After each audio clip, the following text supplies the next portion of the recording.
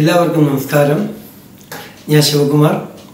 നിങ്ങളോട് ആദ്യം ഒരു ഇൻട്രൊഡക്ഷൻ വയലിൻ ക്ലാസ്സിനെ കുറിച്ച് ഞാൻ യൂട്യൂബിൽ ഇട്ടിട്ടുണ്ടായിരുന്നു വിജയദശമി ദിവസം. അതിന് തുടർച്ചയായി ഇപ്പോൾ ആദ്യത്തെ ക്ലാസ് നമ്മൾ തുടങ്ങുകയാണ്. ഈ ക്ലാസ്സിന്റെ പേര് untaught Carnatic classical music on violin എന്നാണ്. അപ്പോൾ ആദ്യം നമ്മൾ യൂഷ്വൽ ക്ലാസ്സിനെ പോലെ ഫസ്റ്റ് ഒരു ലെസൺ പഠിപ്പിക്കുകയോ അങ്ങനെയൊന്നല്ല പക്ഷെ നമുക്ക് അറിയേണ്ട കുറേ കാര്യങ്ങളുണ്ട്. അറിഞ്ഞിരിക്കേണ്ട വളരെ ഇമ്പോർട്ടന്റ് ആയിട്ടുള്ള കുറേ കാര്യങ്ങളുണ്ട്. ഒരു ക്ലാസ് തുടങ്ങുന്നതിന് മുമ്പ്. പ്രത്യേകിച്ചും വയലിൻ ക്ലാസ് തുടങ്ങുന്നതിന് മുമ്പ്. അതെന്താണെന്ന് വെച്ച് കഴിഞ്ഞാൽ ഈ ക്ലാസ്സിൽ ഒന്ന് രണ്ട് കാര്യങ്ങൾ മാത്രം ഞാൻ ഇൻഡിക്കേറ്റ് ചെയ്യാൻ ആഗ്രഹിക്കുകയാണ്. വളരെ ഇമ്പോർട്ടന്റ് ആയിട്ടുള്ള ഒരു കാര്യമാണ് വയലിൻ എന്ന ഇൻസ്ട്രുമെന്റ് വാങ്ങുക എന്നുള്ളത്. നമ്മൾ പലപ്പോഴും കുട്ടികളിൽ കാണുന്നത് എന്താണെന്ന് വെച്ച് കഴിഞ്ഞാൽ പാരൻസ് ആയിരിക്കും പോയി ഒരു ഇൻസ്ട്രുമെന്റ് വാങ്ങിച്ചുകൊണ്ട് വരിക. അല്ലെങ്കിൽ ഈവൻ ടീച്ചറിനെയോ സാറിനെയോ വിളിച്ചുകൊണ്ട് പോയിട്ടായിരിക്കും ഒരു വാങ്ങി ഒരു വയലിൻ വാങ്ങിക്കുക. അപ്പോൾ ടീച്ചേഴ്സ് ചെക്ക് ചെയ്യാറുണ്ടാവും വാങ്ങിച്ചു കൊടുക്കുക. ആ സമയത്ത് ആ വയലിൻ നല്ല ടോ ടോണൊക്കെ ഉള്ള പോലെയൊക്കെ നോക്കണേ പക്ഷെ എന്ത് എന്ന് പറഞ്ഞാലും എന്റെ ഒരു എക്സ്പീരിയൻസിൽ പറയാണ് ഒരു വയലിൻ വാങ്ങിച്ചു കഴിഞ്ഞാൽ അത് ഉടൻ തന്നെ ഏതെങ്കിലും ഒരു നല്ല സർവീസ് സെന്ററിൽ ചെന്ന് അതിന്റെ അലൈൻമെന്റ് എല്ലാം ശരിയാക്കുക. ഇത് പറയാൻ കാരണം എന്താണെന്ന് വെച്ച് കഴിഞ്ഞാൽ ഇക്കാലത്ത് ഒരു ഷോപ്പിൽ വയലിൻ വരുന്നത് ഏകദേശം ഇരുന്നൂറ് വയലിനോ നൂറ് വയലിനോ ഒക്കെയാണ് വരുന്നത്.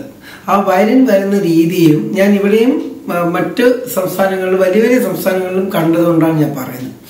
ഇതേ സമയം വയലിൻ വരുമ്പോൾ അത് ബ്രിഡ്ജ് തനിയെ ഒരു പാക്കായിട്ടും ഒരു അൻപതെണ്ണം നൂറെണ്ണം ആയിട്ടും ബോ ഒരു പാക്കായിട്ടും കുറേ ബോക്സുകൾ മാത്രം വയലിന്റെ ബോക്സുകൾ മാത്രം സെപ്പറേറ്റ് ആയിട്ടും. പിന്നെ വയലിൻ അതിന്റെ കൂട്ടത്തിൽ വയലിൻ സെപ്പറേറ്റ് പാക്കായിട്ടാണ് വരുന്നത് ഓരോ വയലിനും. അതിൽ സ്ട്രിങ് മാത്രം ഇട്ടാണ് പക്ഷെ ബ്രിഡ്ജ് കാണത്തില്ല. അപ്പോൾ ഇതെല്ലാം കടയിൽ ഒരാളായിരിക്കും ഇരുന്ന് വെറുതെ വെക്കുക. അപ്പോൾ പല വയലിൻ നമ്മൾ ചെക്ക് ചെയ്യുമ്പോഴും പലതുപോലെയാണ് ആ വൈ വയലിന്റെ ഓരോ കാര്യം എടുത്ത് പറയുകയാണെങ്കിൽ വയലിൻ ആ ബ്രിഡ്ജിന്റെ സൈസ്. അത് നമ്മൾ വാങ്ങിച്ച് അത് ഓവർ സൈസാണ് അവർ വെക്കാറ് നമ്മൾ വാങ്ങിച്ചിട്ട് വേണം അതിനെ കർവ് ചെയ്ത് അതിന്റെ ഹൈറ്റ് നമ്മുടെ ഫിംഗർ ബോർഡും ആ സ്ട്രിങ്ങുമായിട്ടുള്ള ഒരു സ്പേസ് ഉണ്ട്. അത് കൃത്യമായിട്ടും ആ വർക്ക്ഷോപ്പിൽ ആരാണോ വയലിൻ നന്നായിട്ട് നന്നാക്കുന്ന അവിടെ കൊണ്ടു കൊടുത്ത് നമ്മൾ ശരിയാക്കേണ്ട കടമയുണ്ട്. ഇക്കാലത്ത് ഈ പാൻസ് ഒക്കെ വാങ്ങിക്കാൻ പോകുമ്പോൾ നമ്മൾ കാണാറില്ല? ഈ കുറച്ചുകൂടി ലൂസായിട്ടായിരിക്കും അവർ ഇട്ടിരിക്കുന്നത്. പിന്നെ നമ്മുടെ അളവെടുത്തിട്ട് അവർ കട്ടി. സെയിം സൈസിലാണ് ഈ കാലത്ത് ബ്രിഡ്ജസ് ഒക്കെ വരുന്നത്. ഫുൾ ബ്രിഡ്ജായിരിക്കും വരുന്നത്. നമ്മളായിരിക്കും നമ്മുടെ വയലിനനുസരിച്ച് നമ്മുടെ സിസ്റ്റത്തിനനുസരിച്ച് നമ്മളത് കട്ട് ചെയ്യുന്നത് നമ്പർ ടു ആ ഫിംഗർ ബ്രിഡ്ജിൽ ഓരോ സ്ട്രിങ്ങിന്റെയും ഗ്യാപ്പ് എങ്ങനെയാണ് ആ ഗ്യാപ്പ് എത്ര ഗ്യാപ്പ് വരണം എന്നതിനൊക്കെ കൃത്യമായ മെഷർമെന്റ് ഉണ്ട്. അപ്പോൾ അത് ആ വർക്ക്ഷോപ്പിലുള്ളവർക്ക് അറിയാം. അവരോട് ചോദിച്ച് കൃത്യമായിട്ട് നമുക്ക് യൂട്യൂബിലും ഇതൊക്കെ കണ്ട് പഠിക്കാമെന്നുള്ളതേ ഉള്ളൂ. അപ്പോൾ ആ രീതിയിൽ ഫോർ സ്ട്രിങ് ആയാണെങ്കിൽ ഒരു സിസ്റ്റം ഫൈവ് സ്ട്രിങ് ആണെങ്കിൽ വേറൊരു സിസ്റ്റം അപ്പോൾ അത് കൃത്യമായി നമ്മൾ അവളെ പറഞ്ഞ് അത് ചെയ്യിക്കേണ്ടതാണ്. കൂടാതെ ആ ബോയിൽ വരുന്ന ബെൻഡ് അത് തീർച്ചയായിട്ടും സാർമാരോട് ചോദിച്ച് അതെങ്ങനെ എങ്ങനെ എത്ര ബെൻഡ് വരണം എങ്ങനെയാണ് എന്നുള്ളതൊക്കെ നോക്കുക. പിന്നെ ഈ ബോ ടൈറ്റ് ചെയ്യാൻ പറ്റുന്ന ഒരു സ്ക്രൂ ഉണ്ട്. ടൈറ്റ് ചെയ്യാനും ലൂസ് ചെയ്യാനും അപ്പോൾ എപ്പോഴൊക്കെ നിങ്ങൾ വായിച്ച് കഴിയുന്നുണ്ടോ അപ്പോൾ അത് അല്പം ഒന്ന് ലൂസാക്കുക അതായത് ആ ടൈറ്റായി നിൽക്കുന്ന ആ ഒരു സിസ്റ്റത്തിൽ നിന്നും അല്പം ഒന്ന് ലൂസാക്കി വിടുക. ആ ബെൻഡ് നമുക്ക് വളരെ ഇമ്പോർട്ടന്റ് ആണ്. ആ ബെൻഡ് ഇല്ലാതായിപ്പോയി കഴിഞ്ഞാൽ വയലിൽ ആ ബോ നമുക്ക് വയലിൽ ഉപയോഗിക്കാൻ പറ്റില്ല തെറിച്ചു പോകും ടൈറ്റ് ചെയ്യുമ്പോൾ അപ്പോൾ പലപ്പോഴും കുട്ടികൾ ഇത് വന്നിട്ട് അങ്ങനെ ടൈറ്റ് ചെയ്ത് തന്നെ ആയിരിക്കും ബോക്സിനകത്ത് വെക്കാറ്. അപ്പോൾ ആ ബോ ചീത്ത വെറും ഒരു മാസം കൊണ്ട് തന്നെ ചീത്തയായി പോകും. അതുകൊണ്ട് അത് അല്പം ലൂസാക്കി വെക്കുക. ആ ബെൻഡിന്റെ കാര്യവും ടീച്ചറിനോടൊക്കെ നമ്മൾ ചോദിച്ച് മനസ്സിലാക്കി വെക്കുക. അപ്പോൾ ഒരു വയലിൻ വാങ്ങിക്കുമ്പോൾ കുറേ കാര്യങ്ങൾ ഇത്തരം കാര്യങ്ങളുണ്ട് അതിനകത്ത്. ഇത് എന്തിനാണെന്ന് വെച്ച് കഴിഞ്ഞാൽ നമ്മൾ വായിക്കുന്ന ഓരോ സ്വരങ്ങളില്ലേ അതിന്റെ ഓരോ സ്ഥാനങ്ങളുണ്ട്.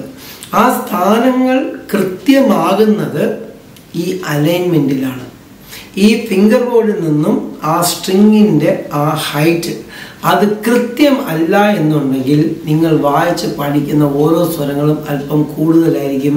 പിന്നെ നിങ്ങൾ ഒരു കാലത്ത് അത് സെറ്റായി പോകും. പിന്നെ ഒരു കാലത്ത് നിങ്ങൾ പ്രോപ്പർ വയലിൻ നല്ല കോസ്റ്റ്ലി വയലും വാങ്ങിക്കുമ്പോൾ ഈ കുറവ് നിങ്ങൾക്ക് നികത്താൻ ഭയങ്കര ബുദ്ധിമുട്ടായിരിക്കും. So from the scratch, from the beginning, from the first class, when you are buying the new violin, അന്നും തന്നെ ഇത്തരം കാര്യങ്ങൾ ശ്രദ്ധിച്ചിട്ട് ചെയ്ത് ഈ അലൈൻമെന്റ് സെറ്റ് ചെയ്തിട്ട് നിങ്ങൾ വായിക്കാൻ തുടങ്ങാവും. ബ്രിഡ്ജ് സ്ട്രിങ്സും ഫിംഗർ ബോർഡുമായിട്ടുള്ള ഡിസ്റ്റൻസ് പിന്നെ ഓരോ സ്ട്രിങ് തമ്മിലുള്ള അകലം. എങ്കിലേ നിങ്ങൾക്ക് ആ ബോ അങ്ങനെ കർവ് ചെയ്ത് വരുമ്പോൾ കൃത്യമായിട്ട് ആ നിങ്ങൾ അരക്കുന്ന ആ ഡിസ്റ്റൻസിൽ ആ ഓരോ ബോയും അങ്ങോട്ടും ഇങ്ങോട്ടും മറ്റൊരു സ്ട്രിങ്ങിൽ തട്ടാതെ നിങ്ങൾക്ക് ഇടാൻ കഴിയും. അപ്പോൾ ഈ ക്ലാസ്സിൽ ആദ്യമായി നിങ്ങൾ വയലിൻ വാങ്ങിക്കുന്നതിനെ കുറിച്ചാണ് നമ്മൾ പറയുന്നത്. വയലിൻ വാങ്ങിച്ചിട്ടില്ലേ പഠിക്കാൻ പറ്റുമല്ലേ? അപ്പോൾ അതുകൊണ്ടാണ് ഇതിനൊരു ഇമ്പോർട്ടൻസ് കൊടുത്ത് നമ്മൾ ആദ്യം ചെയ്യുന്നത്. അടുത്ത ക്ലാസ്സിൽ വീണ്ടും നമ്മൾ ഇതിന്റെ അടുത്ത സ്റ്റെപ്പ് എന്ന് പറയുന്ന ഓരോ കാര്യങ്ങളായിട്ട് ഇങ്ങനെ പറഞ്ഞു പോവുകയാണ്. ഇത് നമ്മൾ വയലിൻ ക്ലാസ് തുടങ്ങും. പക്ഷേ ഇതെല്ലാം മോസ്റ്റ് ഇമ്പോർട്ടന്റ് ആണ് നിങ്ങൾ അറിഞ്ഞിരിക്കേണ്ടത്. അതുകൊണ്ടാണ് ഈ ക്ലാസ്സിൽ ഇത്തരം കാര്യങ്ങൾ ഞാൻ പറഞ്ഞ പറഞ്ഞു തുടങ്ങിയത്. അപ്പോൾ നന്ദി നമസ്കാരം. ഒന്നുകൂടി സൈനിങ് ഓഫ് ശിവകുമാർ എന്റെ യൂട്യൂബ് ചാനൽ ശിവകുമാർ വയലിൻ എന്നാണ്. അത് ഇഷ്ടമുള്ളവരെല്ലാവരും സബ്സ്ക്രൈബ് ചെയ്യുക. ഇഷ്ടമുള്ളവരും ഇല്ലാത്തവരും ഷെയർ ചെയ്യുക. കാര്യം പലർക്കും ഇത് ഉപകാരപ്പെടുന്ന ഒരു കാര്യം ആയിരിക്കും എന്ന് വെച്ചിട്ടാണ് നമ്മളിങ്ങനെ ഒരു ക്ലാസ് ചെയ്യുന്നത്. അപ്പോൾ എല്ലാവരും അത് ഷെയർ ചെയ്ത് എത്തിക്കുക. ഉപകാരപ്പെടുന്നവരെല്ലാം അതെടുത്ത് ഈ ക്ലാസ് ഉപകരിക്കുക. അടുത്ത ക്ലാസ്സിൽ കാണുന്നവരെ സി യു ബൈ ബൈ